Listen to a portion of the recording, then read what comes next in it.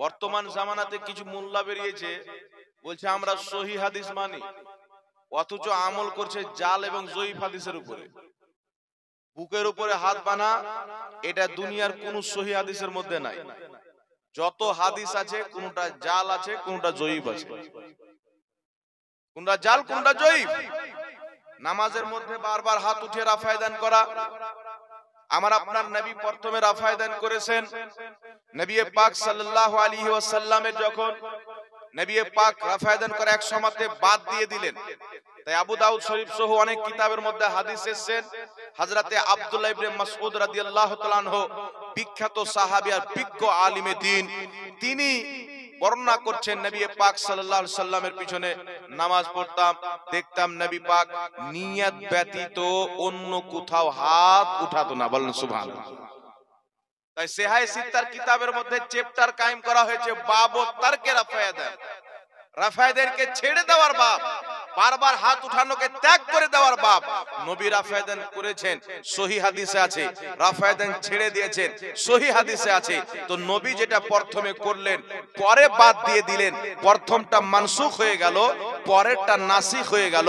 মানসুখের উপরে আমল হয় না নাসিকের উপর আমল হয়, জোরে বলেন সুবহানাল্লাহ। আমল পরেরটার করতে হবে। নবী পাক রাফায়দান ছেড়ে দিয়েছেন, তো আমরাও ছেড়ে দিলাম। সুবহানাল্লাহ বলেন।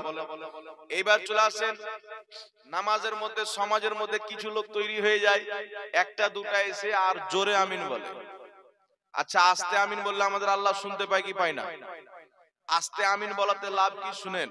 আমরা যখন আস্তে আমিন বলি, তো এটা আমাদের বিশ্বাস, ইয়াকিন থাকে যেটা আমরা আস্তে বলছি, এটাও আমার আল্লাহ শুনছে। জোরে বলেন, সুবহানাল্লাহ। তাই জোরে বলার চাইতে আস্তে আমিন বলাতে নেকিও বেশি স্বভাবও বেশি এতে ইমানও মজবুত থাকে। জোরে আমিন বলার পক্ষে সহি হাদিসও আছে, জয়ীফ হাদিসও আছে। সহি হাদিস কোনটি আছে?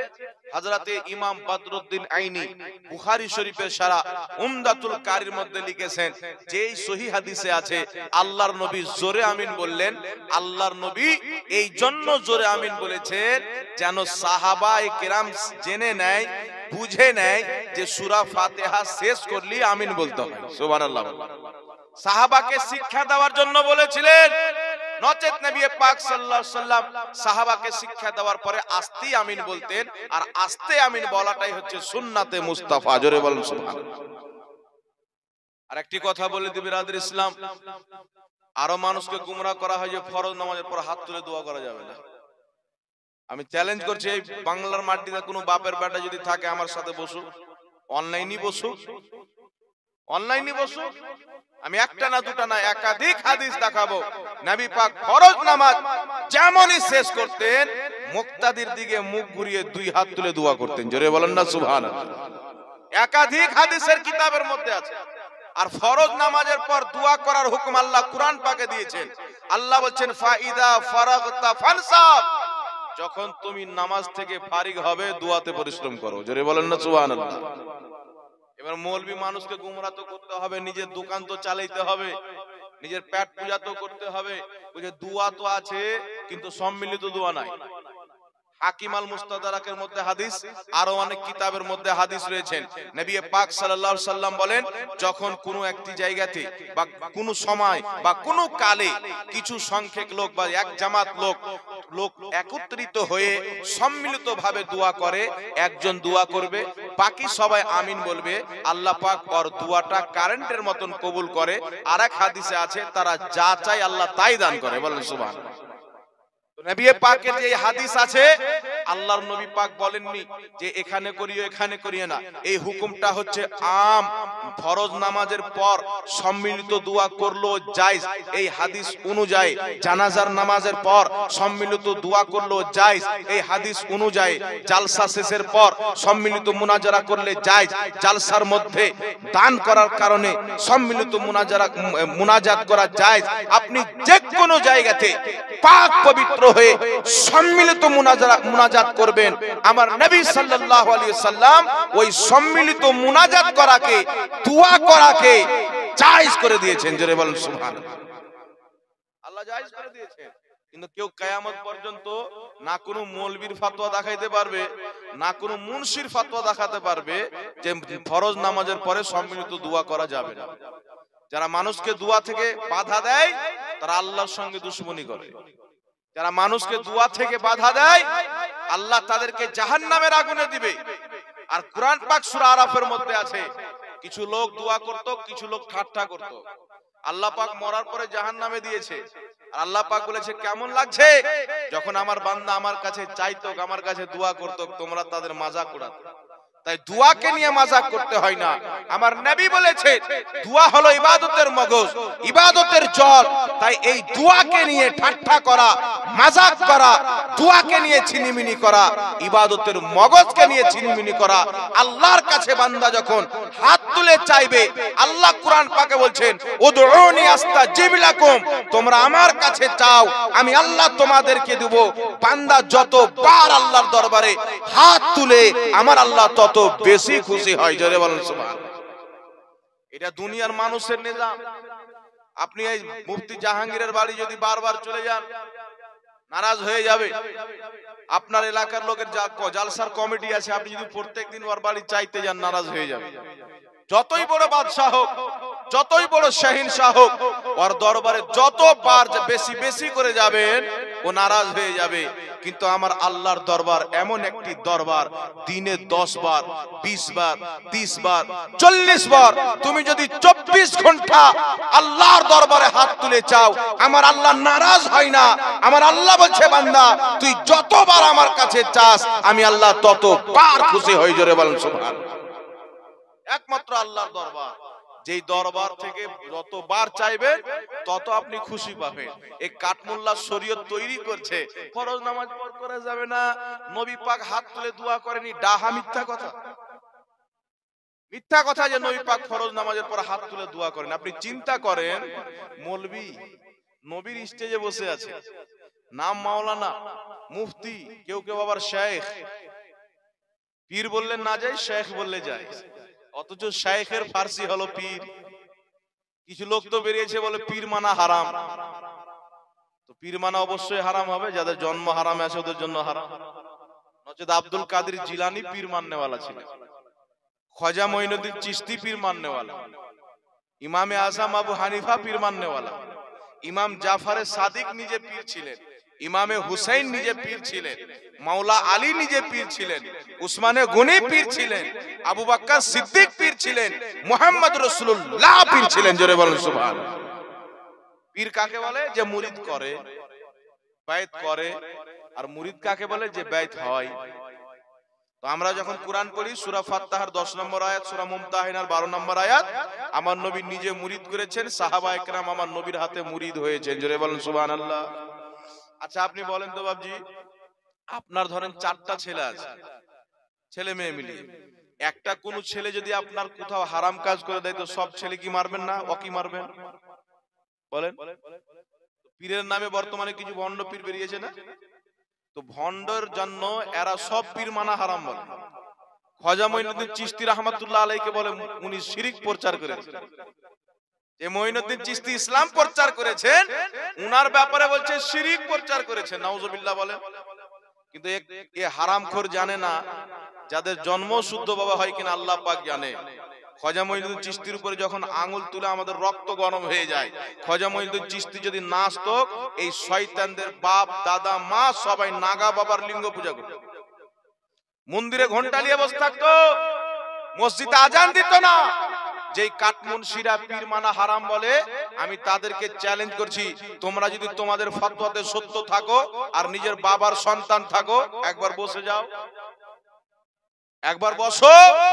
যারা বলে পীর মানা হারাম, এদের পিছনে নামাজ পড়াই হারাম। এদের বক্তব্য শোনাই হারাম। এদের সঙ্গে ছেলে মেয়ের বিবাহ দেওয়া হারাম। কারণ পীর ওই বান্দাকে বলা হয় যে আল্লাহর ওলি হয়। আল্লাহর ওলিকে যারা মানা হারাম বলে, আমার আল্লাহ বলে বুখারী শরীফের মধ্যে, ইন্নাল্লাহ তাআলা মান আদালি ওয়ালিয়ান ফাকাদ আযানতুহু বিল হারব আল্লাহ বলছেন যে, আমার ওলির সঙ্গে দুশমনি রাখল, আমি আল্লাহ তার সঙ্গে যুদ্ধ ঘোষণা করব। জোরে বলবেন না সুবহানাল্লাহ? হাদিসটি কোথাকার শুনালাম? বুখারী শরীফের হাদিস শুনালাম যে আমার অলির সঙ্গে দুশ্মনী করল, আমি আল্লাহ তার সঙ্গে যুদ্ধ ঘোষণা করলাম। এখন খোয়াজা মঈনুদ্দিন চিস্তি আল্লাহর ওলি, এটা হাত ঝাড়ওয়ারাও নিজের কিতাবে লিখেছে। আব্দুল কাদের জিলানি আল্লাহর ওলি, এটা সবাই মানে। তো এখন কেউ যদি খজা মঈনুদ্দিন চিস্তিকে বলে, শিরিক প্রচার করেছে। শিরকের ফাতোয়া দেওয়া মানে জানেন ওকে জাহান্নামী বলা। ওকে কাফির বলা। আর খজা মঈনুদ্দিন চিশতিকে শিরকের ফাতোয়া দিয়ে কাফির বলছে, নাউজুবিল্লাহ বলে। আর ওকে নবীর গুস্তাখি করার জন্য, আল্লাহর গুস্তাখি করার জন্য কাফির বলবেন, তো বলবে ব্যারেলিদের কাজ হলো লোককে কাফির বলা। ওই ব্যারেলিরা তো কোনোদিন পাইক পাড়ার লোককে কাফির বলল না, মুর্শিদাবাদের লোককে কাফির বলল না। তোমার মতন জানোয়ারকে কেন কাফির বলল? তুমি বলছো, নবীর মুখ দিয়ে দুর্গন্ধ বের হতো। তুমি তো পাক্কা কাফির রে। আমার নবী সাল্লাল্লাহু আলাইহি ওয়াসাল্লাম পেশাব পাখানা যখন নবীগণ করে, নবীগণের পেট থেকে কি বের হয়? আজ পর্যন্ত কেউ দেখেনি। উনাদের সঙ্গে সঙ্গে মাটি গ্রাস করে মাটি খেয়ে ফেলে, তাই উনাদের ময়লা বের হতো, না কি বের হতো, আজ পর্যন্ত কেউ দেখেনি। কিন্তু মা আয়েশা নবী পাক যেই জায়গাতে করেছিলেন, নাক লাগিয়ে শুনেছিলেন মুস্কো আম্বারের খুশবু বের হবে। যখন হাগিস দুর্গন্ধ বের হয় রে। আমার নবী যখন পেশাব মুবারক, পাখানা মুবারক করতেন, আমাদের মতন পেশাব পাখানা বের হতো খুশবু বের হতো, জোরে বলেন না সুহান আমার নবীর মুখ দিয়ে দুর্গন্ধ বলো, আমার নবীর জাবানে আল্লাহ কথা বলে। যেই নামের পেশাবে খুশবু যেই নবীর পাখানাতে খুশবু, যেই নবীর জবানে খুশবু, যেই নবীর ঘামে খুশবু, যেই নবী রাস্তা দিয়ে চলে যায়, দীর্ঘ সময় পর্যন্ত ওই রাস্তাতে নবী মুস্তাফার আজব খুশবু থেকে যায় অন্ধ সাহাবী নবীর খুশবুতে চিনে নাই এই রাস্তা দিয়ে আমার নবী চলেছেন, তো ওই নবীর মুখে কি করে দুর্গন্ধ বের হতে পারে যেই ব্যক্তি এই কথা বলবে, ওর ইমানই থাকবে না। ইমানই থাকবে। আপনি চিন্তা করেন, নবীকে মাটি প্রমাণ করতে গিয়ে বলছে ওনার মুখ দিয়ে দুর্গন্ধ বের হতো। আলিমুল মা যখন ওকে ভালো করে বাঁশ দিল, বলছে, মানবিক গন্ধ ছিল। কোন হাদিসে পেলে? শরীয়ত তোমার বাপের না, আমার বাপের না, দলিল দিয়ে কথা বলো। একটি কথা মনে রাখবেন ব্রাদার ইসলাম। যে রসুলের দুশ্মন, সে আমাদের দুশ্মন। যে রসুলের হাবিব, সে আমাদের হাবিব। নবী পাকের দুশ্মনকে যদি নিজের দুশ্মন না মনে করেন আপনার বেঁচে থেকে কোনো লাভ নাই। আপনি মরলি জাহান নামে নামাজ পড়েই কি করবেন না পড়েই কি করবেন? নামাজ তো আর কবুল হবে যার অন্তরে আল্লাহ আল্লাহ রসুলের আদব আছে। আল্লাহ ওয়ালাদের মহাব্বত আছে। আজকে বলছে পীর মানা হারাম ইসলামটা আর বাপ লিয়ে আসেনি। আজকে ইসলাম দুই ভাগে বিভক্ত হচ্ছে। যারা পীর মানা হারাম বলছে, তারা আমেরিকার ইসলাম প্রচার করছে, ইসরায়েল যে ইসলামটা চায়, সেটা প্রচার করছে। যারা পীর ওলির পক্ষে কথা বলছে, তারা মোহাম্মদ রসুল্লাহর দেওয়া দিন প্রচার করছে বলেন।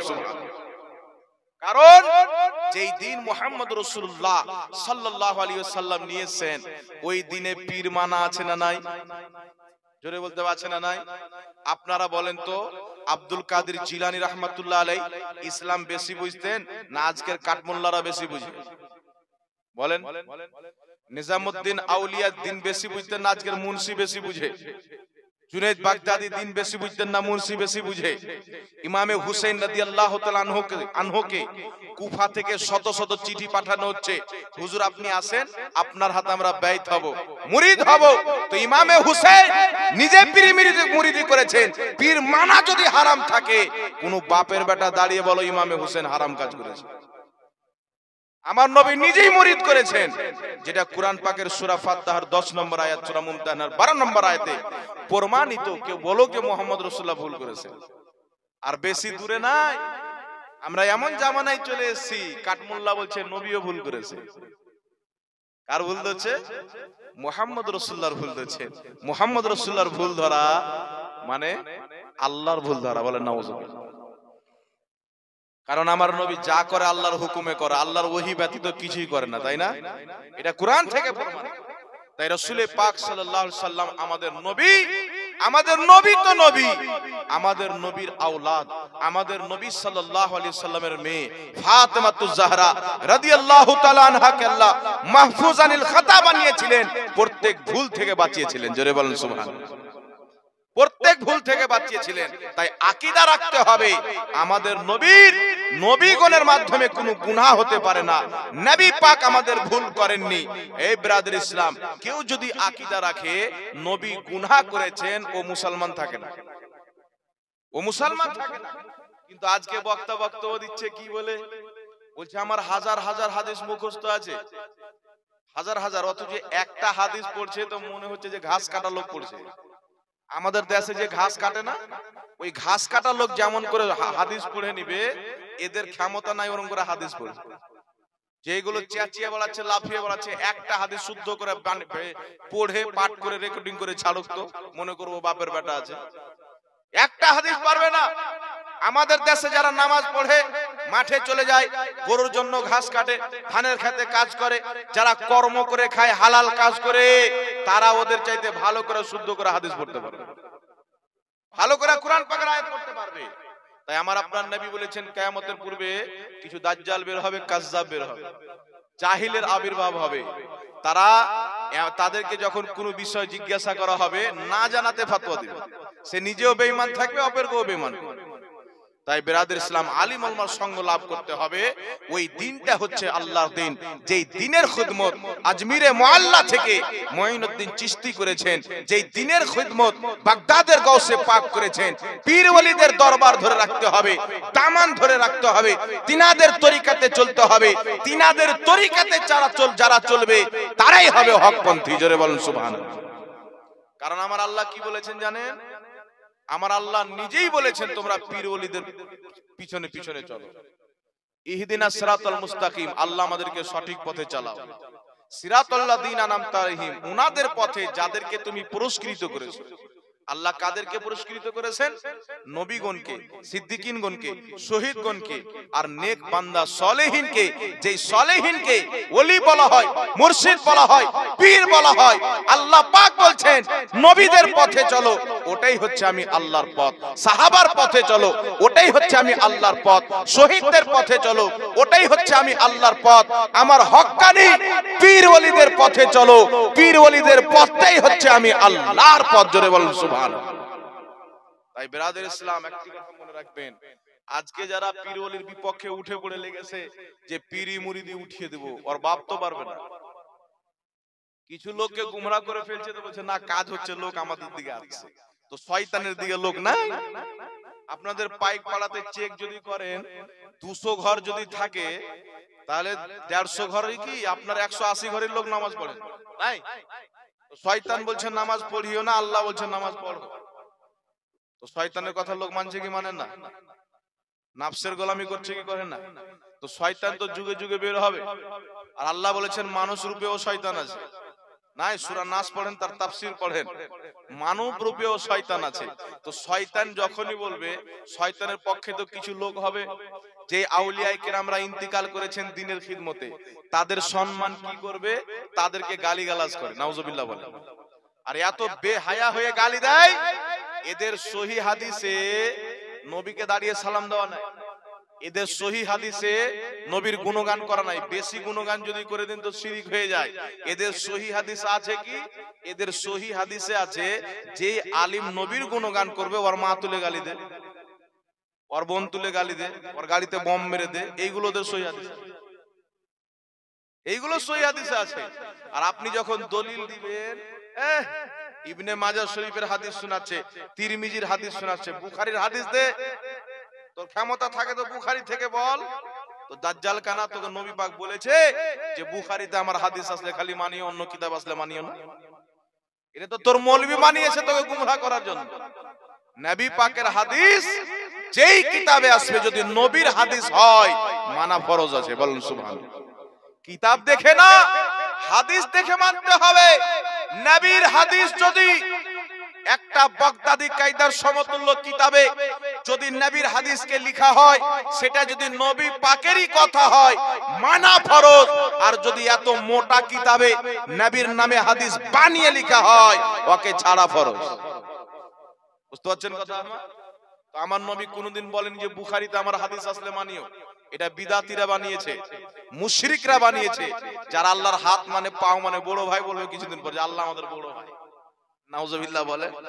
এদের গ্যারান্টি নাই। আল্লাহর যখন আকার মানতে পারে, তো আপনি আর কি বিশ্বাস রাখবেন? আমি যখন এই কথা শুনলাম, অবাক হলাম।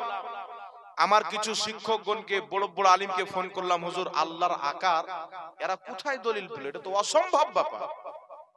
তো বলছে, তুমি গুগলে যাও। তওরাত ডাউনলোড করো, বাইবেল ডাউনলোড করো। তওরাত, বাইবেল, যেটা ইহুদিদের কিতাব, খ্রিস্টানদের কিতাব। একে যখন পড়লাম, ইহুদি খ্রিস্টানরা আকিদা বানিয়েছে। মানে কিতাবকে চেঞ্জ করে দিয়েছে। শরীফ তো আসমানি কিতাব না আমাদের ইমান আছে। কিন্তু ওদের পাদ্রীরা চেঞ্জ করে দিয়েছে। ইঞ্জিল আসমানি কিতাব যাকে বাইবেল বলা হয় ওই ইঞ্জিলের আলিমরা ওকে চেঞ্জ করে দিয়েছে। আল্লাহর আকার বানিয়ে দিয়েছে। ইসাইদের মধ্যে কিছু সম্প্রদায় আছে যারা আপনার ঈসা আলাইহিস সালামকে আল্লাহর বেটা মানে। তো আল্লাহর বেটা মানবে তো আল্লাহকে তো মানুষ বানাইতে হবে। আকার বানাইতে হবে। আল্লাহর আকার বলে কিছু আয়াত লিখে দিয়েছে ওই কিতাবে তো বহুত গবেষণা করার পরে বুঝতে পারলাম যে এই মৌলবিদের হাত অনেক দূর অব্দি আছে।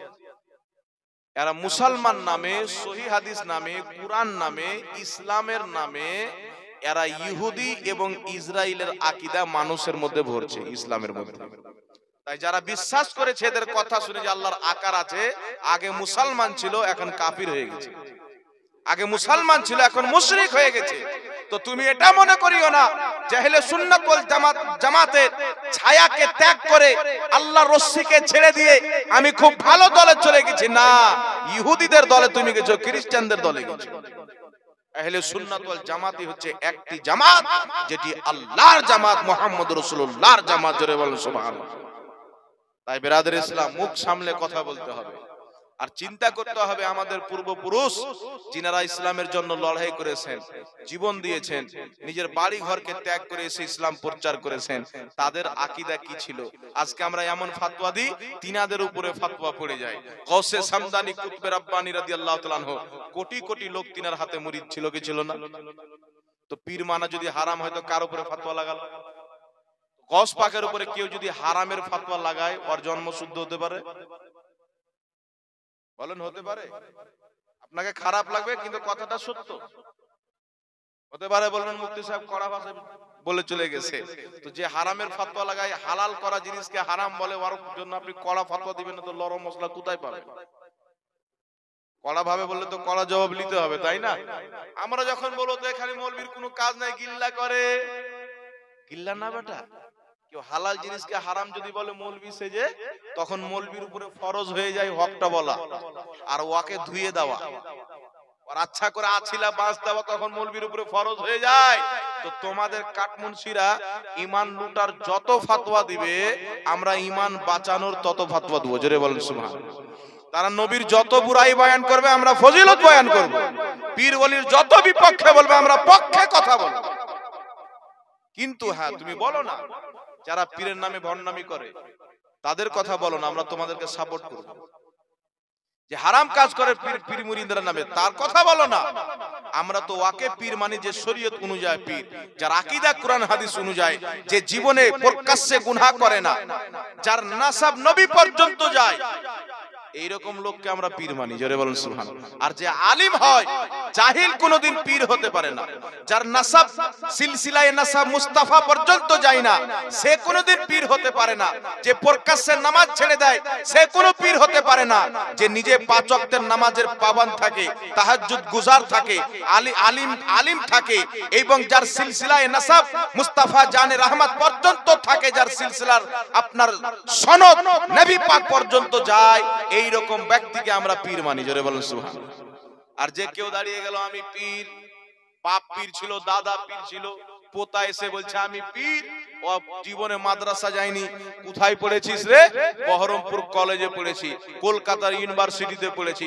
কলকাতায় পড়লে পীর হওয়া যায় না। বহরমপুরে পড়লে পীর হওয়া যায় না। পীর হতে গেলে ইলমে দিন শিখা ফরজ। কারণ দশ জনকে মুরিদ করে সে যেন সঠিক পথ দেখাতে পারে আরও তার ইমানকে যেন ধ্বংস না করে দিতে তাই না কথা বলতে হবে তাই বেরাদের ইসলাম পীরের হাতে ব্যয়ত হওয়া, এটা হচ্ছে সুন্নাতে কাদিমা মুস্তাম্মেরা সুন্নাতে কাদিমা কাকে বলে জানেন? অনেক পুরাতন সুন্নাত যেটা যুগ যুগ থেকে চলে আসে। তো সুন্নাতকে যারা বাঁচায়, বাঁচিয়ে রাখে, তারাই হচ্ছে সুন্নি। জোরে বলেন সুবহান আর সুন্নাতকে যারা ধ্বংস করতে চায়, তারা কোনোদিন নবীর দিওয়ানা হতে পারে? সুন্নাতে কাদিমা কেন? আমার নবী থেকে নিয়ে। চার খলিফা পর্যন্ত। চার খলিফা থেকে নিয়ে নবীর আল আউলাদ ইমামে হাসান, ইমামে হুসেন, ইমাম মুসা কাজিম, ইমাম জাফরে সাদিক, ইমাম আপনার রাজা আলী, যত এসেছেন, নবী পাক থেকে নিয়ে এখন পর্যন্ত উনার সিলসিলা চলতে আছে পিরি মুরিদি চলতে আছে। জোরে বলুন সুবহানাল্লাহ। তাই সুন্নাতে কাদিমা বলা হয়, নবীর জামানা থেকে এই সুন্নাত চলে আসছে। তাই বেরাদ ইসলাম কোন হক্কানি আসল যিনি শরীয়ত অনুযায়ী যজ্ঞ পীর, তিনার হাতে মুরিদ হলে সুন্নাতের উপরে আমল করলেন, একটি সুন্নাতকে জিন্দা করলেন। একটি সুন্নাতকে জিন্দা করার স্বভাব জানেন? অনেক স্বভাব রয়েছে। আর সুন্নাতকে মিটিয়ে দেওয়ার আজাব জানেন? যেমন স্বভাব বেশি আছে, তেমন আজাবও বেশি। নবীর সুন্নাতে চললে জান্নাতি হবে। আমার নবী বলেছেন তেহাত্তরটি ফিরকা হবে। কুল্লহুম ফিন্নার সব জাহান্নামে।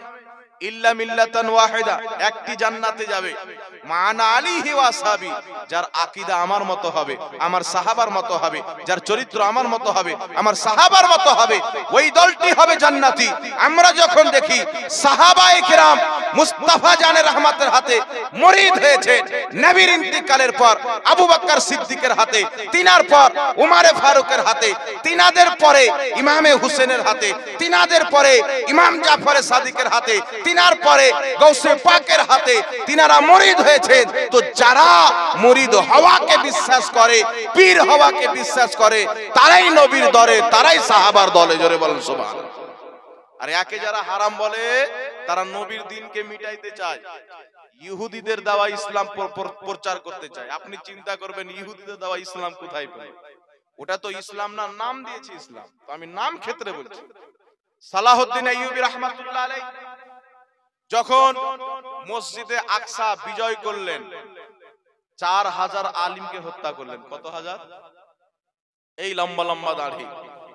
আমার চাইতো মাথায় ডবল বড় পাগড়ি। আর কেউ শেখ উমুক, শেখ আব্দুর রহমান বিন হেসাম, মুফাসসিরে কুরআন আব্দুল জাব্বার ইবনে আব্দুল মতিন, কাজিয়ে ফিলিস্তিন বিভিন্ন রকমের টাইটেল বিভিন্ন রকমের নাম। যাদের নাম শুনলে মানুষ মনে করবে যে ব্যাপক কিছু আছে। চার হাজার আলিমুল মাকে সামনে করে সালাহুদ্দিন কচু কাটা করে কেটেছিলেন কেন জানেন? ওই চার হাজার আলিমী ইহুদি ছিল। চার হাজার মৌলবী ইহুদি ছিল। যারা মৌলবি সেজে মুসলমানের মধ্যে এমন ফাটল সৃষ্টি করত ইসলামকে দুর্বল করার জন্য। মুসলমান দুর্বল হলে ইসলাম দুর্বল হবে না। আজকে যেখানে সেখানে মুসলমান জুতা খায়। দেড়শো বছর আগে যান মুসলিম নাম যখন শুনতো তার তার করে কাপ আজকে ট্রেনে দাড়ি টুপি দেখলে গুলি মেরে দেয়। আজকে মসজিদে বাবরি বাবরি মসজিদকে দখল করে নিল। আজ থেকে একশো বছর পূর্বে যান এর এর কি ক্ষমতা ছিল? ভাগবা আতঙ্কবাদীদের কি ক্ষমতা ছিল? ইহুদি খ্রিস্টানদের কি ক্ষমতা ছিল? আরে মুসলমানের যখন নাম শুনে নিত পায়জামাই পেশাব করে দিত কেন জানেন ওই সমাতে মুসলমানের অন্তরে নবীর আদব ছিল রসুল পাক সাল্লাল্লাহু সাল্লামের মহাব্বত ছিল আর নবী পাক সাল্লাল্লাহু সাল্লামের প্রতি জীবন দেওয়ার যে একটা জাজবা থাকে ওই জাজবাটা ছিল এখন নাই এখন তো নবীকে দাঁড়িয়ে সালাম দিলে নাকি ও জাহান্নামে চলে যাবে তো আলা হযরত রাদিয়াল্লাহু তাআলা আনহু বলছেন শিরিক ঠহরে জিসমে তাজিমে হুজুর শিরিক ঠহরে জিসমে তাজিমে হুজুর उस बुरे मजहब पे लानत कीजिए জোরে বলেন সুবহানাল্লাহ আলা হযরত রাহমাতুল্লাহ আলী বলছেন যে, নবীর তাজিম করা যে মাঝহাবে শিরিক হয়, ওই মাঝহাবের উপরে লানাত পাঠাও। নবীর তাজিম করবে না তো করের বাপের সব তাজিম করবে। নবীকে সম্মান করবে না তো করের বাবার সম্মান হবে। আর এই দুনিয়াতে যদি মুস্তাফাকে সম্মান না করা হয়, পৃথিবীর কেউ সম্মানের যোগ্যতা রাখে না। চাইতে বেশি মর্যাদা, বেশি সম্মান, বেশি ক্ষমতা, বেশি পাওয়ার বেশি জ্ঞান, বেশি সৌন্দর্য আমার আল্লাহ যদি কাউকে জমিনের মাটিতে দিয়ে থাকে, মোহাম্মদ রসুল্লাহকে দিয়েছে, জোরে বলেন সুবহান তাই আমাদের আলা হযরত আমাদের ইমাম, তিনি বলছেন যে আমাদের নবী সাল্লাল্লাহু সাল্লামের হুসন লাজবাব, আমাদের নবী সাল্লাল্লাহু সাল্লামের ক্যারেক্টার লাজবাব, বিদ্যা লাজবাব, সব লাজবাব।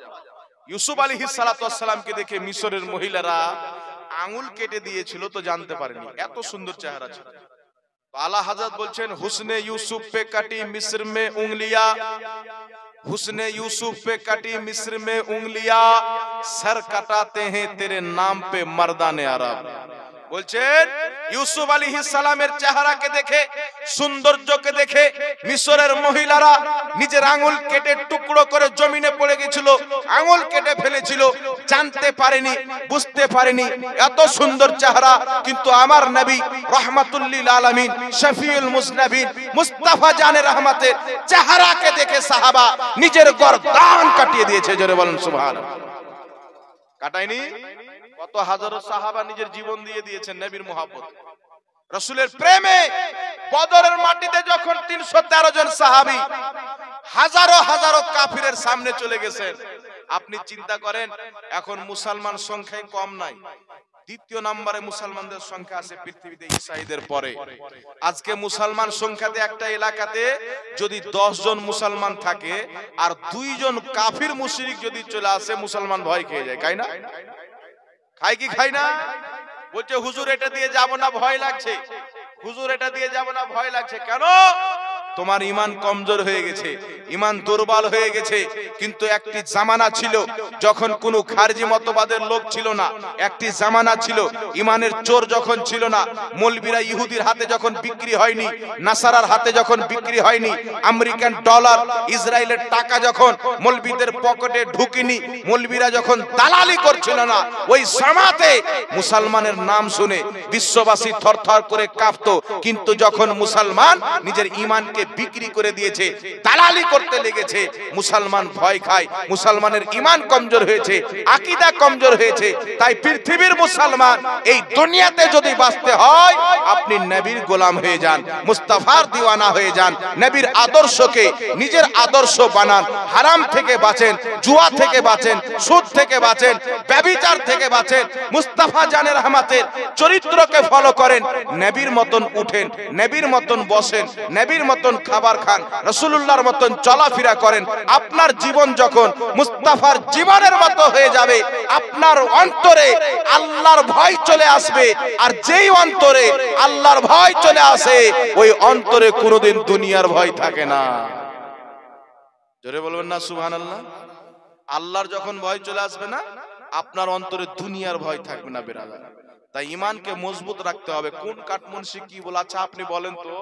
আপনি যে রসুল পাক সাল্লাল্লাহু সাল্লামকে মেনেছিলেন ওনার প্রতি ইমান এনেছিলেন, তো আপনি জিজ্ঞাসা করেছিলেন যে, মুফতি জাহাঙ্গীর, আমি নবী পাকের উপর ইমান আনছি। জিজ্ঞাসা করেছিলেন, তো আপনার নবী, আপনার রসুল, আপনার রসুলকে আপনি মোহাব্বত করেন, আপনি ভালোবাসেন। আপনি নবীর সম্মানে দাঁড়াবেন, নবীকে সালাম দিবেন, মোহাব্বতের নবীর নাম চুমুন দিবেন পরিজন পড়লে নবীর জন্য আপনি জীবন পর্যন্ত দিবেন। তো কাঠমোল্লার ফাতোয়া শুনে দিবেন। কাঠমুন্সির ফাতোয়া শুনে দিবেন? আরে কায়ামতের ময়দানে যদি আল্লাহ বলে কেন তুই দাঁড়িয়ে সালাম দিয়েছিলি রে? তো আমরা আপনারা কি বলব? আল্লাহ তোমার নবীর দিয়েছিলেন। আমরা মনে করতাম এটা তোমার নবীর তাজিম। আল্লাহ আপনাকে আজাব দিবে লাগছে? বিবেক দিয়ে ভাবেন। বিবেক তো একটা জিনিস। তাই খালিদ বিন ওয়ালিদ রাহমাতুল্লাহ আলাইহি যুদ্ধের ময়দানে যাবে। নিজের বাড়ি থেকে বেরিয়ে রাসূলুল্লাহ রওজার দিকে মুখ করেছেন। হাত বেনে মাথাটাকে ঝুঁকিয়ে সালাম পড়ছে আসসালাতু ওয়াসসালামু আলাইকা ইয়া রাসূলুল্লাহ। জোরে বলেন, সুবহানাল্লাহ। ইয়া রাসূলুল্লাহ, আপনার দিনের খিদমতের জন্য বেরিয়েছি। মুশরিকদের সঙ্গে লড়াই করতে বেরিয়েছি। হুজুর, আপনার রওজার দিকে মুখ করে আপনাকে সালাম দিলাম। আপনি খালিদ বিন ওয়ালিদ সে সালামটাকে কবুল করে নাও, বলেন, সুবহানাল্লাহ। এখন মৌলবি যুক্তি দিচ্ছে রে, নামাজে নবীকে বসে সালাম দিই, আর তোমরা দাঁড়িয়ে সালাম দাও, বাপ দাদারি চালু করেছ। দাজ্জাল কানা জানাজা যখন পড়ে তো কি করে সালামটা দেয়? বসে সালাম দেয় না, দাঁড়িয়ে জানাজা পড়েন তখন কিসে সালাম দেয়? দাঁড়িয়ে দেয় না? তো নামাজটা মনে আছে, ওটা ভুলে